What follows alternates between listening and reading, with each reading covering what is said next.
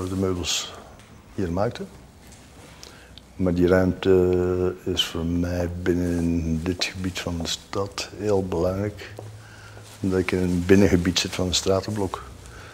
Met omliggende achtertuinen. En een gebouw dat een volledige zone heeft die vrij is van die achtertuinen. Uh, waarvoor ik vroeger met uh, dit gebouw Notenlicht ja, als fabrieksgebouw uh, deze ramen heb gestoken bijvoorbeeld. Als een soort schilderijen naar buiten. Mijn vader had veel boeken. en die heeft ooit in een huis waar we wonen een bibliotheek gemaakt. Heel simpel. Houten planken. En mijn onkel schrijnwerker, ja, die heeft die dan daar ter plekke gemaakt. En op een gegeven moment verhuisd. En ik heb die bibliotheek uh, afgebroken en mijn eigen bibliotheek gemaakt. Ik vind het altijd een heel, heel hek ding dat ik niet respect op had gebracht voor ja, wat mijn vader had gedaan. Ja. Ik heb die gewoon de planken uit elkaar gehaald. En ik denk dat ik Cézanne bibliotheken ben aan het maken. En inderdaad, uh, dan kan je zeggen de bibliotheek in uh, Bordeaux. Uh, mijn bibliotheek hier. De bibliotheek van Van Abbe Museum. En een paar andere. Daar is mij gevraagd in het Van Abbe Museum om de publieksplekken in te richten. Zoals bibliotheek, restaurant, auditorium, boekshop, uh, educatieve ruimte, uh, de inkom, de balie, uh, ticketbalie. En dat is zo bijna totaal onafhankelijk gezien van dat gebouw. Het gebouw is uh, Nederlands architect. Samen met Jan Debout, ja, de curator van, van het museum of de directeur van het museum. Uh, bijna tien jaar gewerkt. En ik ben heel laat in het proces betrokken. Uh, wat zijn moeilijkheden heeft meegebracht. Maar dat is meestal zo ook. Ja, dat architecten ook, ook Remcola's, ja, mij heel laat ja, zo bij het proces bestrekt. Dat heeft als gevolg soms dat je niet kunt doen wat je denkt te zou moeten doen.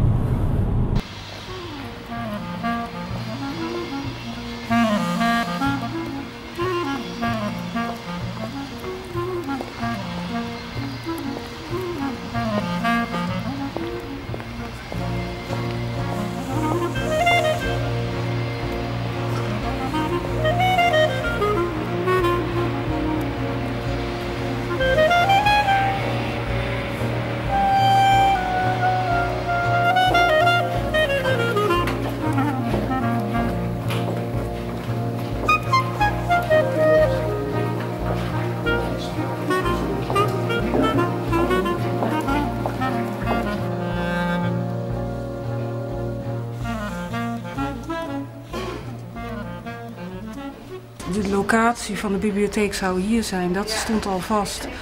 En uh, wat de functie, de nieuwe functie van de bibliotheek zou worden, van een, van een zeer onzichtbaar iets naar een, naar een veel zichtbaarder iets. Dat hadden we eigenlijk al besproken. En dat, ja, dat is natuurlijk uiteraard aan Maarten gemaild. En die heeft er uh, met een hele hoop functies die we al sowieso hadden en materialen die we hadden, is, is daar, de eerste plan was meteen raak. Het was een verademing. Dus dat, dat was de start van, van uh, het werken aan de plekken die we hier gedaan hebben. was de bibliotheek. Daar uh, ben ik ook heel radicaal in geweest. Ten opzichte van wat het er vooraf hier uh, gepland was. Het was een soort architectuur. en eigenlijk daar gewoon alles uitgegooid. Ja. Dit, was, dit was echt het ademt. En, ja, en, en kun je, je kunt alles overzien. En vanuit de positie van de bibliothecaris is het zo... je moet ook alles kunnen overzien, letterlijk om het te bewaken. denk ik toch wel dat ik heel goed ingespeeld heb op die publieke plekken of de vraag die daarvoor gesteld is. Om die aan te pakken. Onder andere met heel veel kleur en dan hier speciaal de Belgische kleuren. Dat is een grapje van mijn medewerker.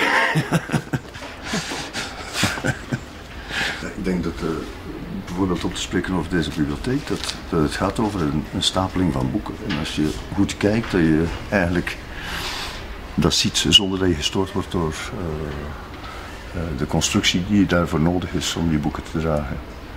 En dat is wel iets wat ik altijd, altijd naar streefde. Bijna dingen er bijna niet zijn, maar juist door, door die lichtheid, door die uh, ruimte, dat die wel heel sterk bepalend zijn. De verticale steunen zijn vol, vol staalplaat, die gekoppeld worden per verdieping, waar dat deze dingen ook ja, eigenlijk het ding op zijn plaats houdt. Ja, want we konden niet rekenen op de wanden. Dus die twee loopbruggen dienen ervoor om al de verticalen te stabiliseren. En dit is uh, speciaal ontwikkeld ook voor die overspanningen aan te kunnen. Ja. Dus uh, bijna een meter twintig. En die is uh, een geprofileerde staalplaat. Waar dat langs twee kanten opgelijmd is, zodat het een stijf geheel wordt. Ja en geen doorbuiging heeft. Dus als je goed kijkt naar de, dat kom je heel veel tegen in, in bibliotheken. Ja? Als het niet zo'n planken zijn natuurlijk, maar als er iemand dun wilt proberen werken, dat die allemaal zo. En met dit speciaal ontwikkeld voor deze bibliotheek uh, is dat heel goed gelukt.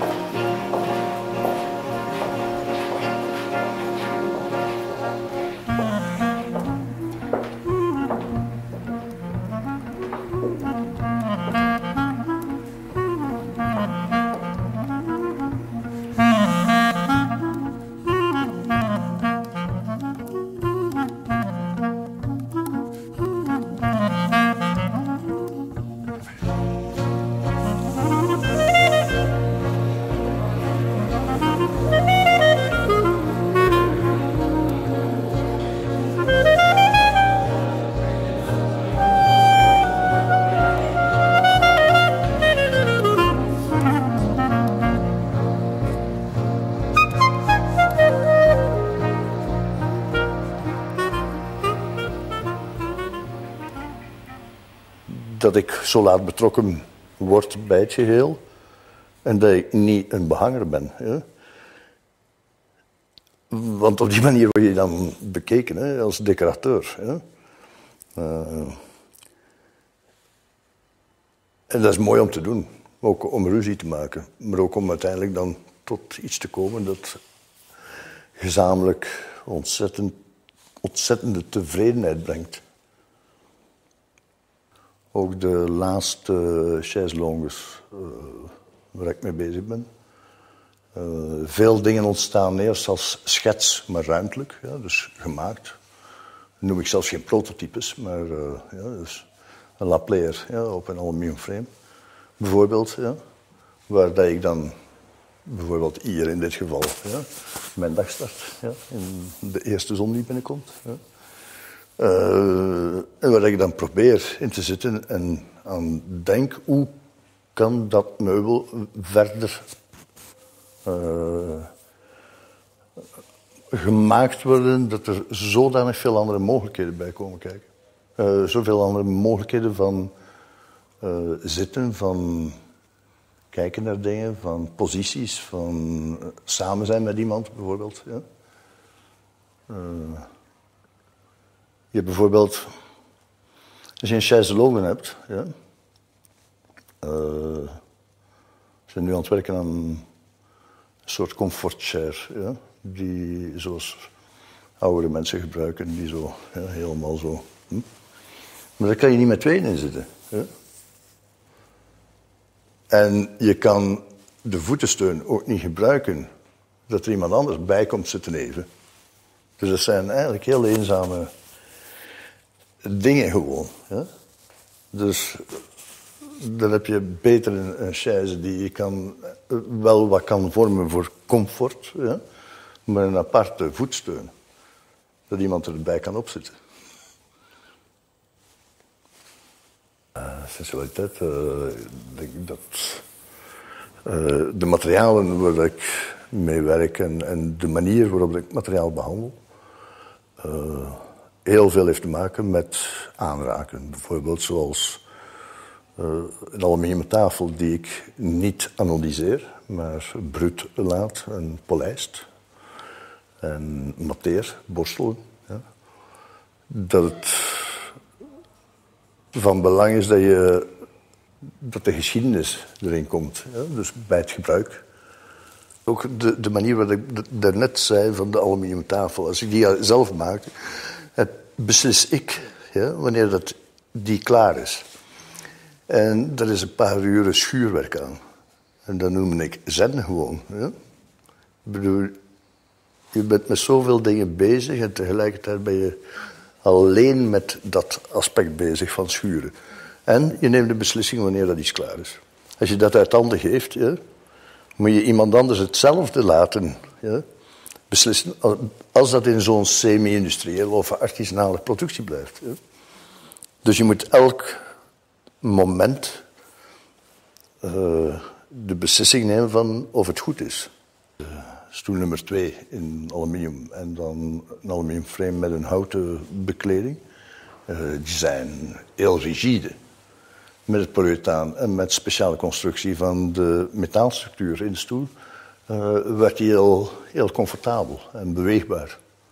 En ging ik voor het eerste moment zitten op die nieuwe stoel bij Vitra. Dus de eerste prototypes. Uh, en toen zei Rob van, ga nu eens terug op jouw oude stoel zitten. Toen brak ik mijn rug bijna. maar dus, zo... Dus er is en in denken en in samenwerken en in natuurlijk ouder worden, ja, andere vormen om mm, te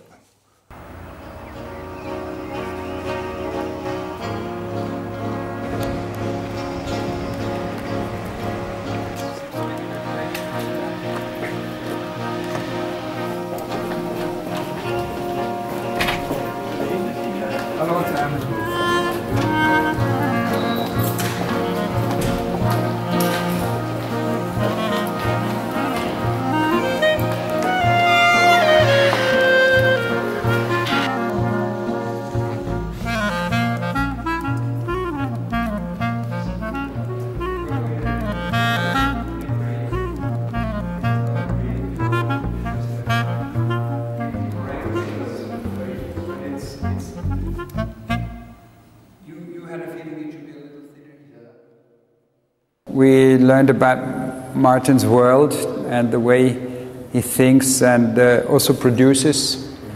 And I think that was uh, the beginning of uh, asking ourselves, can we do something together? And of course, the interesting question was, at least to me, but I think also to you, Martin, can your work, which was so personally made in such incredible quality, what does it mean if it becomes goes through a more industrial thinking? And uh, I mean, that was the work over the last 10 years actually that we did in the end uh, with quite a lot of work for three chairs and the shares.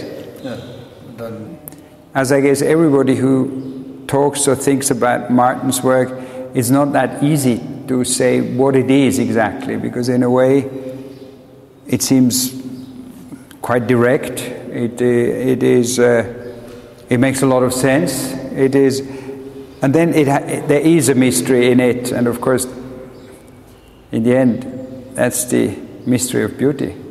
And it's very hard to say what it is exactly. And to me, it has always been eminently essential, the work. I mean, that I find, that's why if somebody asks me, is it minimalism, I would say, no, no, it's essentialism. It's something very, very different, that you, you do something essential. Martin, do you remember why in the end we chose this chair? Uh, I don't remember. I think it was 98. We showed it for the first time 98, okay. in Organdek and in Interieur. That was okay. And it was, one can say, a- an immediate success. I mean, that was very nice, wasn't it? But we didn't think it would catch in a way that it caught, because again, it's it is a very reduced and quiet object. So, but I think there was a, a need for that object. Obviously, otherwise it wouldn't have been so successful that That's also You- very strange uh, change in, in the way I made them before in my own atelier. Was mostly in the, the natural colors, and now industrial production uh, in, in mold formed uh, shells. So it's not a shell or a piece of hard material inside and is formed around. This is the foam itself. So when you stand on it, as you can see on, on, on, on the book, Martin's book, when somebody stands on it, you see how it, how it bends.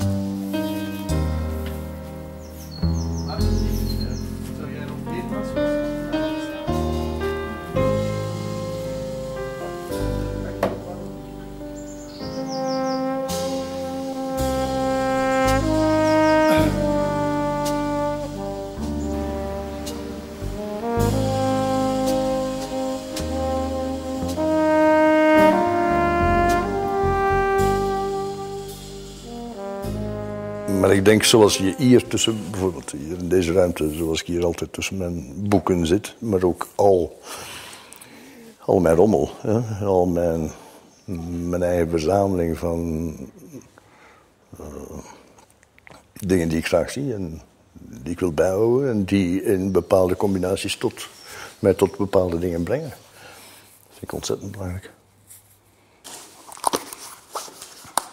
In Spanje gevonden. Ja.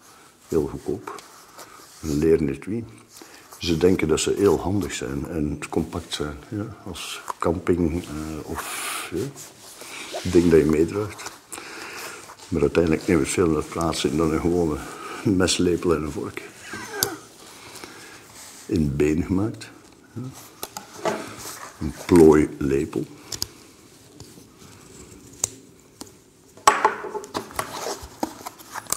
en Waarom wordt zoiets gemaakt? zo zijn er natuurlijk tientallen dingen waar ik bij elk ding in mijn verzameling eh, mijn vragen stel. Van hoe wordt het gebruikt? Ik hoop dat...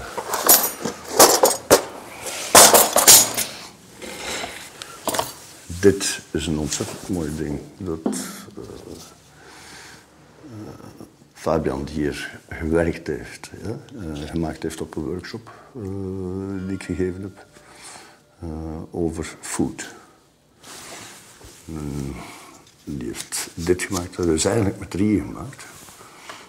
Toen was de opdracht in het begin van de dag van vanavond eten we hier allemaal samen, maar wel met jullie eigen bestek dat je gemaakt hebt.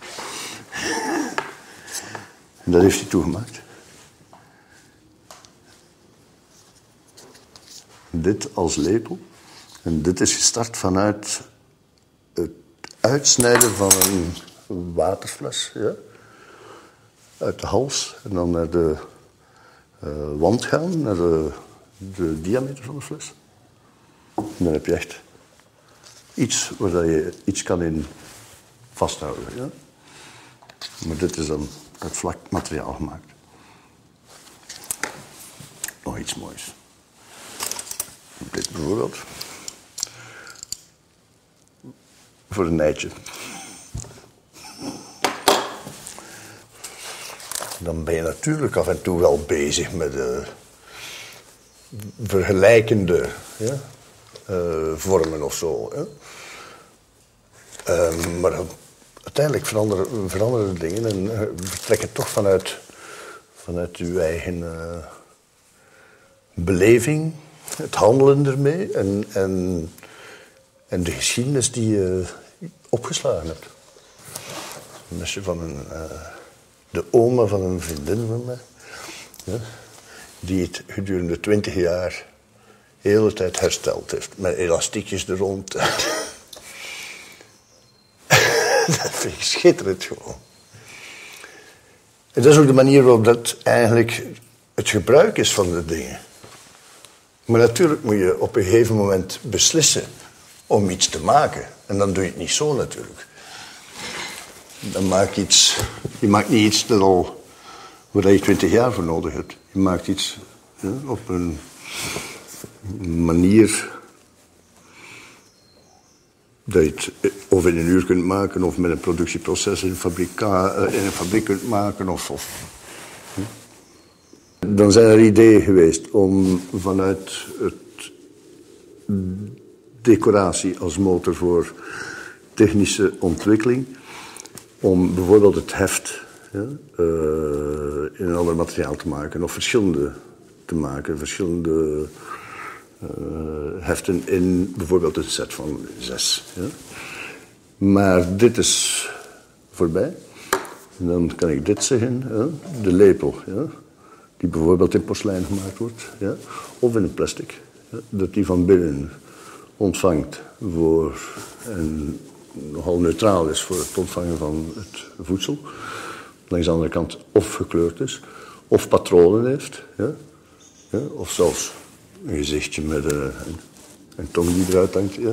Je zo communiceert met dat Maar dat als het plat ligt, ja, dat het allemaal zo...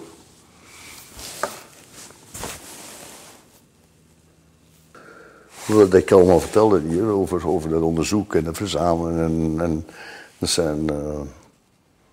Dat is niet aan tafel gaan zitten en een bestek ontwerpen. Dus dat heeft een serieuze tijd nodig. En als het bestek bijvoorbeeld nu uh, een paar maanden geleden is voorgesteld uh, aan Alessi. Dan gaat het nu drie jaar duren voordat het product op de markt komt en voordat ik daar een return van heb.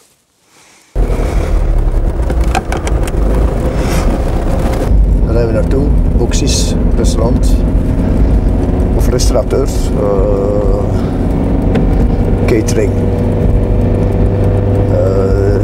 woon in Deurle echt een 19e eeuwse uh, bloemisterijgebied met een typische architectuur waar ik enkele, aan het woonhuis enkele aanpassingen heb gedaan en uh, waar een nieuw gebouwtje bij komt voor keuken, professionele keuken voor uh, de traiteursdienst. Eigenlijk zijn er twee, twee dingen van belang in het huis hoe dat ik het uh, buiten heb opgevat, de grote ramen en zo, maar ook van binnenuit, net zoals je er straks zei bij mij in het atelier. Uh, van, je ziet bijna niet dat die ramen hier zitten. Je hebt eigenlijk gaten in de muur die als, bijna als schilderijen ja, op, de muur hangen. Dat daarnaast zo'n hele as van de keuken, eigenlijk als centrum over de hang, dwars door de living. Ja, op een echte typische Vlaamse uh, schouw, een open haard. Met veel eikenhout en uh, tegeltjes. En dan heb je nog een tweede ding dat het nu eigenlijk een wandelhuis is geworden. Je kan echt van de ene kamer via die as, kan je een ander parcours volgen en heb je overal uh, ja, het gevoel van het huis is heel, heel erg open geworden.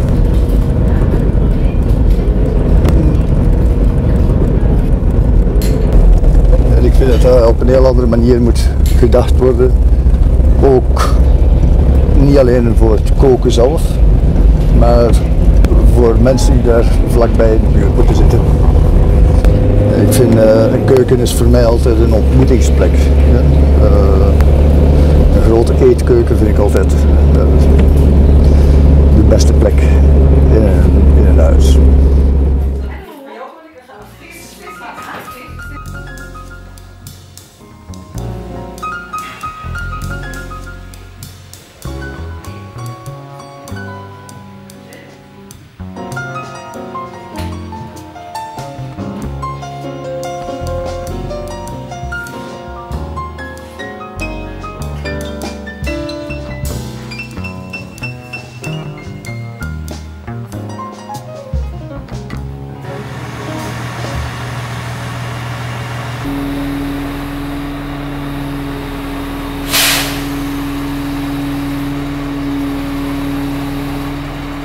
you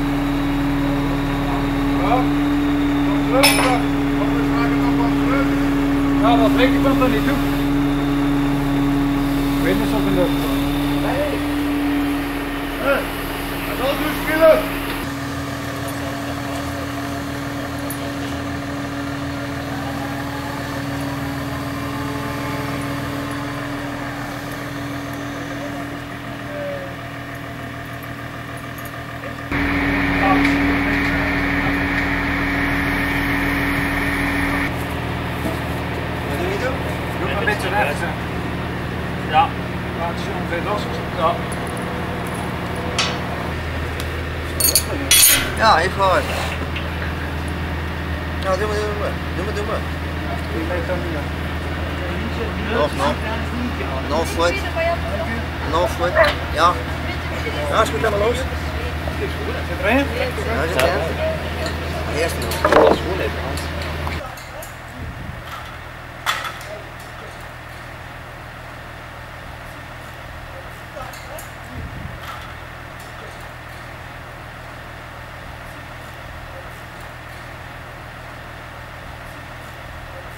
maak je een ruimte bewoonbaar? Hoe, hoe zit je ergens? Uh, uh, waar heb je een tafel nodig en hoe zit je eraan? Hoe werk je of hoe eet je of hoe uh, schuif je bijvoorbeeld op een tafel je werk even opzij om, om te eten? Of, of hoe zit je daar rond met mensen? Dus het belangrijkste van. En de ruimte en het beheren van de ruimte door de meubels. De meubels maken de, ruimte leefbaar. Ik noem mezelf geen designer, ik noem mezelf ontwerper. Maar natuurlijk kan je in het Nederlands zo zeggen, maar uh, in het Frans of in het Engels is het designer. En er is nauwelijks een ander woord voor te uh, vinden. Ik ben geen specifiek vormgever. Zo echt van, en met, hoop ik. Natuurlijk heb ik... Uh, een richting waarin ik denk en, natuurlijk een soort constante van uh, de manier waarop dat ik werk. Maar ik hoop niet echt een bepaalde stijl die dan maar enkele jaren geldt of zo. Mijn overgrootvader, ja, uh, Smit, mijn grootvader huisschilder en schilder Mijn vader schilder. Ja. Eh, mijn broer en ik, ja. Ontwerpers. En dan vooral mijn meubelen. Eh, mijn zonen, kunstenaars en architecten. Dus ik vind het wel eh, eigenlijk ontzettend. Dat is ook bijna vijf generaties. En ik denk dat het belangrijk is dat je dat meedraagt, ook genetisch gezien. Dat je die aandacht voor precisie of die aandacht voor op een bepaalde manier kijken, dat je dat gewoon. Dat, dat in jou zit. Dat je het alleen verder ontwikkelt met het ding wat je dan maakt of. eh, eh, of wat je zou willen. Dat je het alleen maar ontwikkelt. En verder doordraagt. En ook bij het maken van dingen, een ding dat bijvoorbeeld in een andere huiskamer komt, ja, dat je dat op een bepaalde manier ook doorgeeft.